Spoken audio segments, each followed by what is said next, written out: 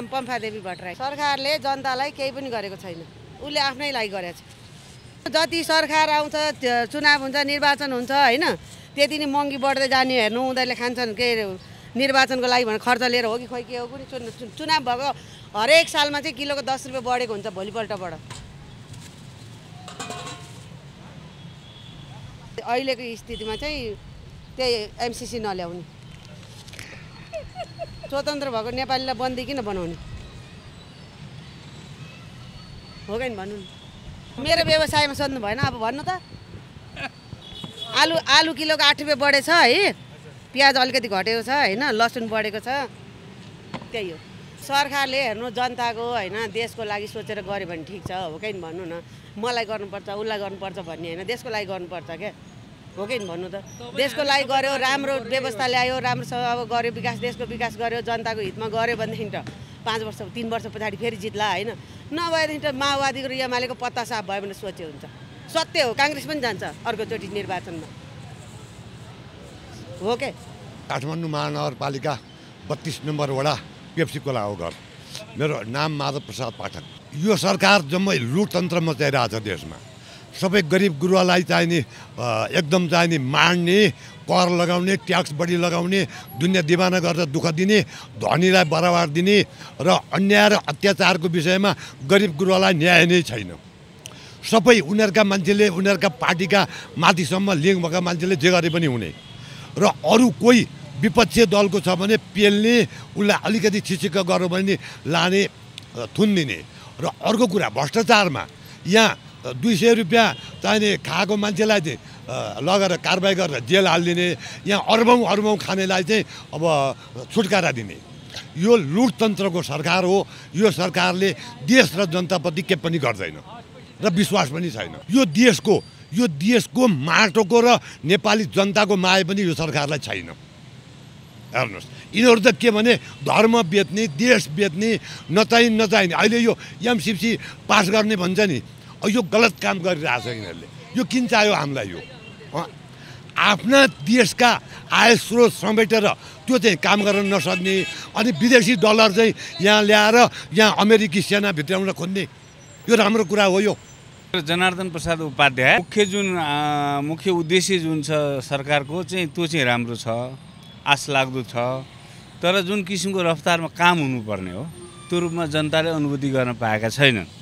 अब जुन रेल ल्याउने कुरा छ त्यो आयो भने जहाज चलाउने कुरा छ त्यो आयो भने जनताको चाहिँ अब तिनवटा जुन उहाँले गर्नुभएको छ त्यो प्रतिबद्धता गर्नुभएको छ त्यो सा भयो भने चाहिँ सरकार अहिले पनि कमजोर अवस्थामा छैन।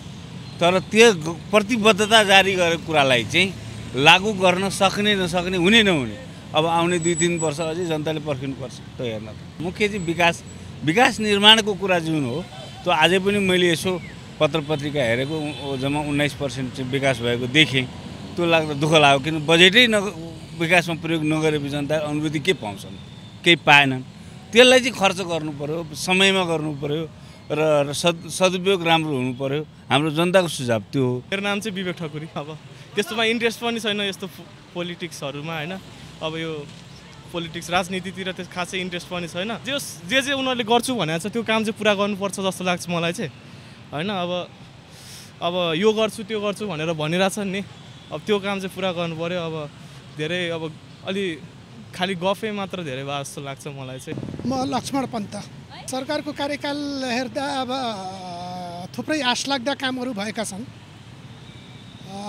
तर चाहिँ कैयौँ कामहरू गर्न पनि बाँकी छ फेरि संक्षेपमा भन्दाखेरिमा अब थुप्रै कामहरू एउटा चाहिँ आशलाग्दा भएका छन् र त्यो चाहिँ तत्काल परिणाम दिन सक्ने त देखिन्न जस्तो अब कनेक्टिभिटीको कुरा छ। त्यसपछि गएर अब राष्ट्रिय गौरवका आयोजनाहरू धमाधम निर्माण सुरु भएर अन्त अन्ततिर पुगिरहेका छन्। अन्तर्राष्ट्रिय सम्बन्धमा एउटा चाहिँ भारत र चिन दुवैसँग सन्तुलित सम्बन्ध राख्ने दिशामा सरकारले सकारात्मक काम गरेको छ। लगायतका अब अनेकौँ आशलाग्दा काम भएका छन् र सरकारले एउटा चाहिँ नयाँ नेपाल निर्माण गर्ने जक्त बसाल्न सफल भएको छ भन्ने लाग्छ। तर फेरि जनताको अपेक्षामा अझै पनि हाम्रो सरकार म नेपाल कम्युनिस्ट पार्टीको केन्द्रीय कमिटी सदस्य पनि हो। जनताको अपेक्षामा हाम्रो सरकार अझै पनि पूर्ण रूपमा खरो उतर्न सकेको छैन। थुप्रै कामहरू गर्नुपर्ने बाँकी छ थुप्रै चुनौतीहरू छन् थुप्रै सीमा र समस्या कमजोरीहरू पनि छन्।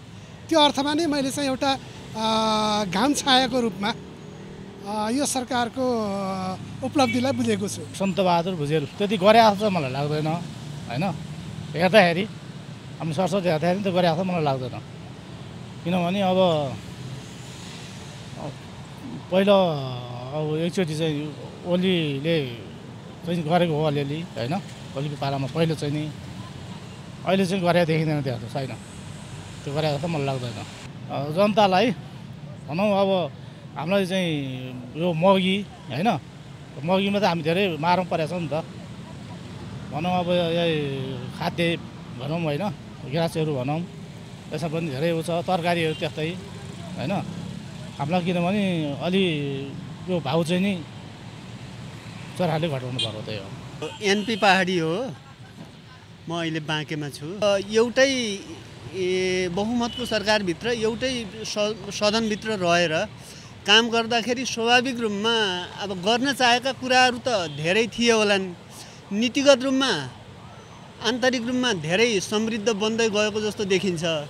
तर व्यवहारिक रूपमा अब ग्रासरुट लेभलबाट र यो मध्यम वर्गबाट त्यति धेरै चाहिँ अब सन्तुष्टिका कुराहरू चाहिँ सुनिन्नन् तथापि यो यो आफैमा सङ्क्रमणकालीन अवस्था भएको कारणले एउटा सामन्तवादी अब अर्थव्यवस्था र यो निम्न पुँजीवादी अर्थव्यवस्थाको चाहिँ यो अन्तरालबाट चाहिँ जानु पर्दाखेरि स्वाभाविक रूपमा सरकारले गर्न चाहेको राम्रो जस्तो लाग्छ उपलब्धि केही हदमा हासिल गरेको जस्तो मलाई अनुभूति हुन्छ। म सर्वसाधारण हुँ। मैले त्यसको चाहिँ अब क्रेडिट केही उपभोग गरेको छैन। तथापि स्वतन्त्र नजरबाट चाहिँ अध्ययन गर्दाखेरि उसले केही गर्न चाहेको र अब केही उपलब्धि हासिल गरेको जस्तो मलाई लाग्छ। जस्तो कि अब धेरै मानिसहरू अब निजी आफ्नो चाहिँ अब निजी अब प्रोपर्टी व्यवस्थित गर्ने सवालमा चाहिँ उनीहरू अब स्वतन्त्र छन्। खुला र उदार अब अर्थतन्त्र बजार व्यवस्थाको चाहिँ अभ्यास चाहिँ सुरुवात भएको जस्तो देखिन्छ र अर्कातिर अब ऐनहरू सबै पूर्ण भइसकेका छैनन्।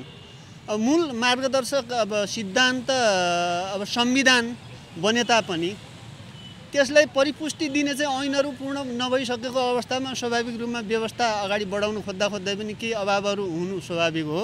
तर पनि केही गर्न लागेको जस्तो र अब केही ठिकै गरेको जस्तो मलाई अनुभूति भएको छ। सबैको सबैभन्दा राम्रो। Ratopati dot com.